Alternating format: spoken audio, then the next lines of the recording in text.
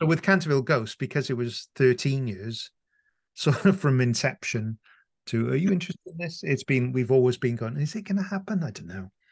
Not even when we had it properly green lit, we always going, "Mm," just because we were just Yeah.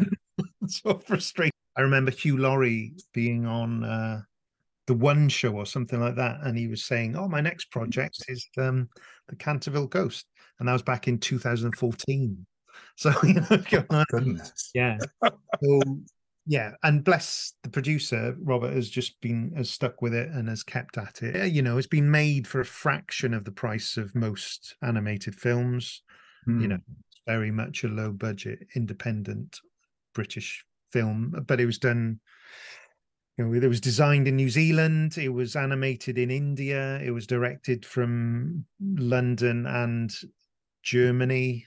Uh, it was edited in Ireland. Um, Yeah.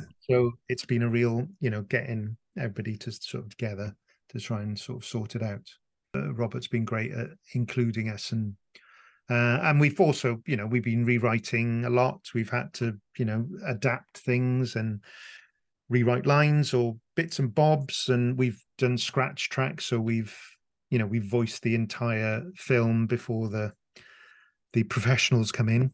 Uh, and, Yeah. uh, and then it's all about, you know, doing stuff to lip movements that have been animated. Hmm. Sometimes they don't quite work or No. so it's all been it's all been a massive learning curve for us as well uh, and fascinating to be involved in every sort of uh, stage of its development which has been a joy um, but yes it's been frustrating at times as well but Yeah. um, it's been you know now that it's finally happened i just hope uh, people go and see it and enjoy it now because it's out of our hands completely